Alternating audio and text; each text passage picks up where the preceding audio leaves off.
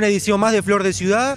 un evento que este Ejecutivo Departamental ha decidido que es trascendente, que es importante, que, que tenga una continuidad, que sea algo que trascienda las gestiones.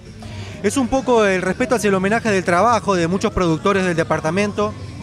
En este evento estamos aglutinando más de 30 productores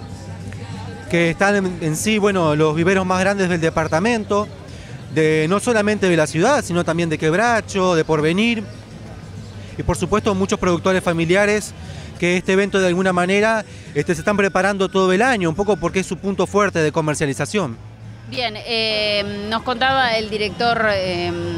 de Marco García que hay más de 60 expositores y que se, empieza, eh, se piensa ampliar para el próximo año. Sí, bueno, la idea es ir eh, diagramando una estrategia, este, eh, teniendo en cuenta las dimensiones de la plaza, hay que evaluar eh, cómo iremos diagramando los puestos que vayan este, sumándose el año que viene.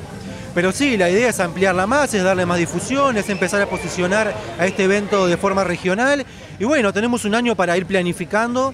para ir de alguna manera viendo el concepto en el cual vamos a vertir en la región lo que es este evento, que, bueno, que vale la pena destacar todo lo que es y la belleza que genera en esta plaza, ¿no?